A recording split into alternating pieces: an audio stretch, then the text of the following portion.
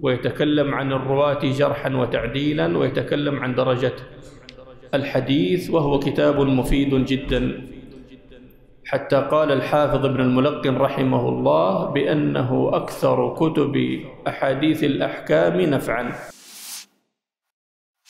السنن والأحكام عن المصطفى عليه أفضل الصلاة والسلام. ومؤلفه هو الحافظ ضياء الدين المقدسي المتوفى سنة 643 للهجرة. لكن المؤلف رحمه الله توفي قبل إتمامه. وصل فيه إلى الجنايات.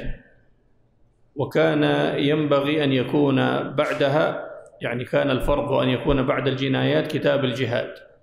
وقيل إنه وصل إلى أثناء باب الجهاد والله أعلم. لكن الذي في المطبوع يصل إلى إلى الجنايات ليس فيه شيء من أحاديث الجهاد.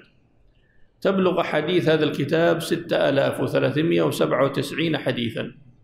ويذكر في هذا الكتاب الروايات المختلفة للحديث والزيادات في ألفاظه ويتكلم عن الرواة جرحا وتعديلا ويتكلم عن درجة الحديث وهو كتاب مفيد جدا.